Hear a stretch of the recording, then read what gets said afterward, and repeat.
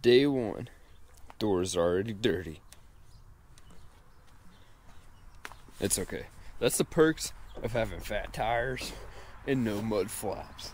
Because, well, Door is such a beast that she just knocks mud flaps right off.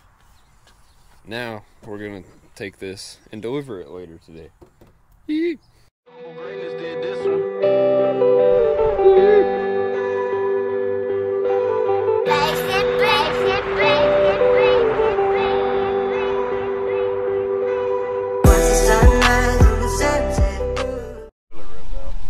These guys have some hints on Bigfoot. This is episode one. uh, HVAC Adventures Wait a second. instead of Ghost Adventures. And it's important that you don't get your your fiberglass and stuff in front of the valve action and cause it to malfunction. So see how there's nothing nothing in front of that valve action that's going to cause it to malfunction. Then you can take your little stripe there and peel it off. You just want to do it all as neatly and tuck it as you can. So that surface body is completely exposed. And then let me see a couple pieces of that tape. There's a few.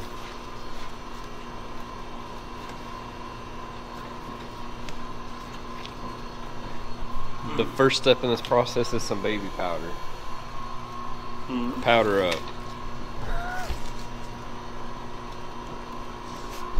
And one thing that I've always tried to tried to do is don't smash it down so bad, but try to lay it around it so that it's somewhat smooth.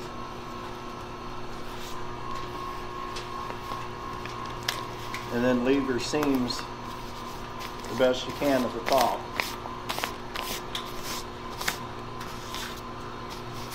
And sometimes it works with your hands, sometimes you might have to use the rub down There you go. and it's laying over there.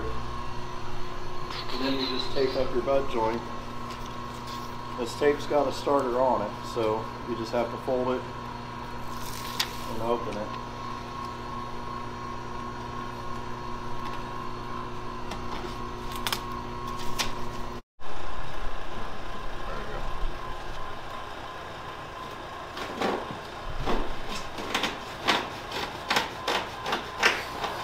Now you're gonna make you're gonna make a cut here. Listen, you're gonna want. Now you're gonna make you're gonna make a cut here. Listen, you're gonna want to cut to your. This is your inside length, and then you get your outside length. So your inside length is seven inches, and your outside length is going to be whatever it is. So you need that piece to be seven inches long, and then that's where you're gonna start your miter. So figure out your seven inch line on here. Okay. Now don't, don't tear it yet. Don't tear it yet. But just mark it so you know where it's at. You can punch it with a tip of the knife. Okay, now remember, that's gonna be your inside edge. So you're gonna move that over to your angle. You want a, you want a 90 degree miter. So instead of cutting it straight across, you're going to try to cut it alongside of that 90 degree miter line.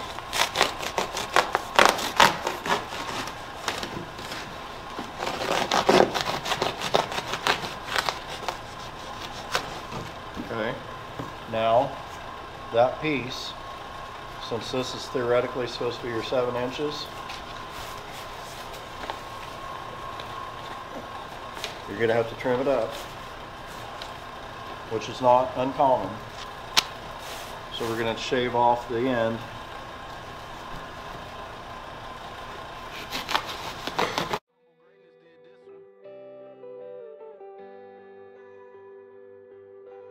your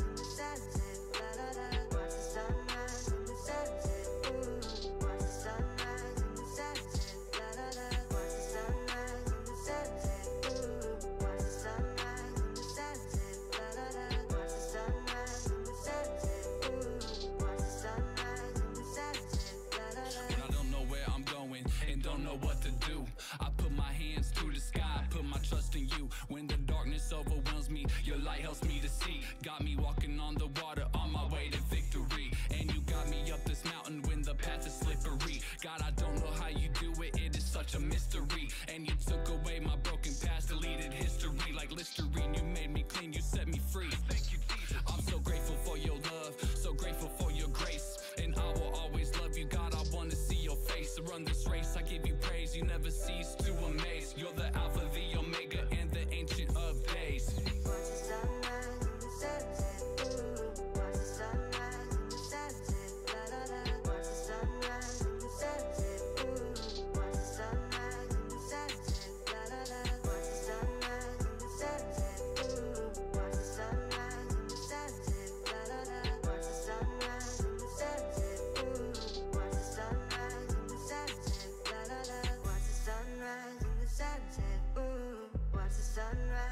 sunset, la la la. Watch the sunrise in the sunset, ooh. Watch the sunrise in the sunset, la la la.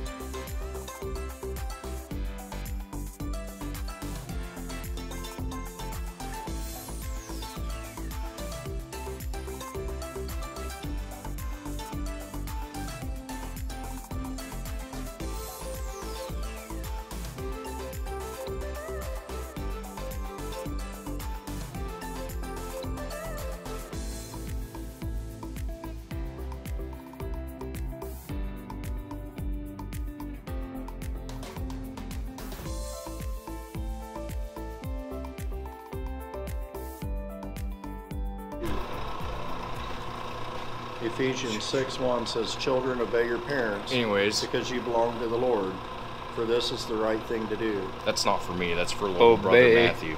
Obey your ch- your wait. Obey your on that. children. Obey, your parents. Anyways, anyways, according to Cheryl, which is the head janitorial lady here at the library, she had witnessed a book fall off the shelf. Uh, she's heard noises. She's felt presence of eyes watching her when there's no one else around. And there's multiple of other stories that people here in Hutch can tell you about the haunts of the library. But the stories happen in this very next room that you're about to see. Let's go over there real quick. Check it out. Just the stairwell, right? Oh, the stairwell and this whole This Library. entire room. You got all your religious books right here. The entire room. She, she was cleaning this room one night, and she literally heard a book fall off the shelf and turned around and saw the book laying on the floor. It's She, crazy. she was the only one down here. There you go. Oh guys, there you go. That's today's vlog. If you enjoyed it, smash the thumbs up, drop comment down below. We will catch you tomorrow. Have a great day. God bless.